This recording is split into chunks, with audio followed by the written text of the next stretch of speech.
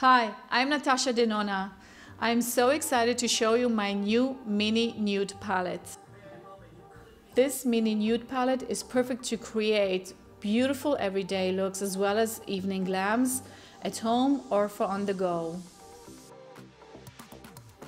Keep on watching and learn how to recreate this beautiful glam look. The first shade I'm starting with is Quion, this light medium matte shade just to emphasize the crease a little.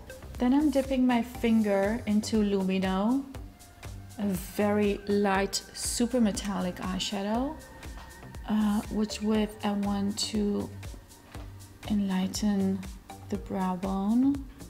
Most of the product I'm focusing on the center brow bone and then with the rest I'm blending out. Now I'm taking a little flatter brush, but still fluffy, and I'm dipping it into soil, a medium dark matte shade, and pressing it onto the outer corner of the lid in an angle.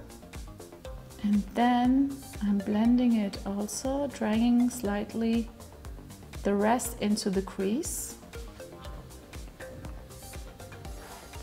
So I'm working down in a flat angle and dragging upwards into the crease.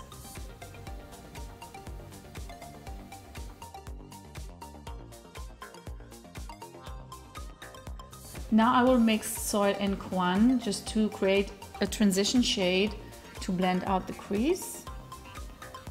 Now with soil, I will define the lower lash line and will thicken the outer third just to straighten the eye and to lift it up to give a very elongated look.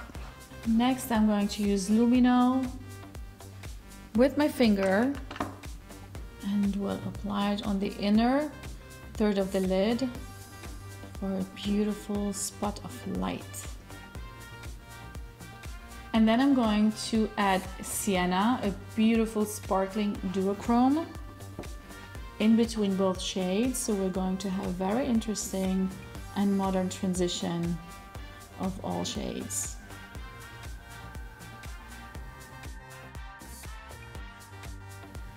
One of the things I love to do the most for glam looks is to add a brown liner in the inner corner, especially for wide set eyes or if you have round eyes, it will just make them look more straight and give the ultimate cat look eye.